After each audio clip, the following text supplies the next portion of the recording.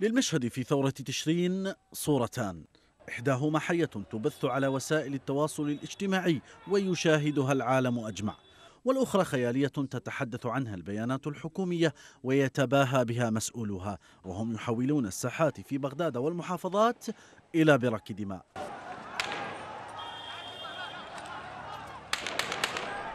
بعيدا في أقصى الغرب. سمع للمرة الأولى صدى للتظاهرات في العراق. هناك في البيت الأبيض بواشنطن حيث حيكت صفقة احتلال العراق ومن ثم تنصيب من نراهم اليوم حكاما عليه. فأوصلوه على مدى 16 عاما إلى ما هو عليه اليوم. نموذجا للبؤس والفقر والجهل والفساد. تذكر الأمريكيون اليوم أن في العراق دماء تسيل. هم المسؤول الأول عنها.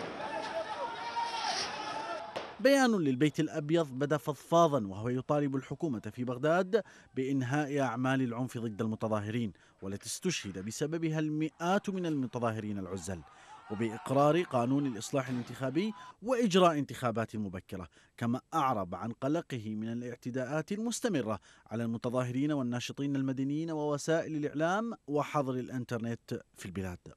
المتحدثة باسم البيت الأبيض ستيفاني غريشام أكدت أن العراقيين لن يقفوا مكتوفي الأيدي فيما تستنزف إيران موارد بلادهم وتستخدم ميليشيات مسلحة وحلفاء سياسيين لمنعهم من التعبير عن آرائهم بشكل سلمي.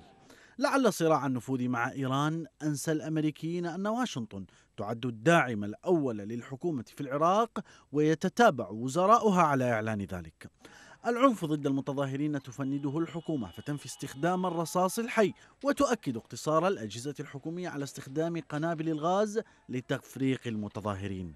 وكأن هذا المشهد ليس في العراق.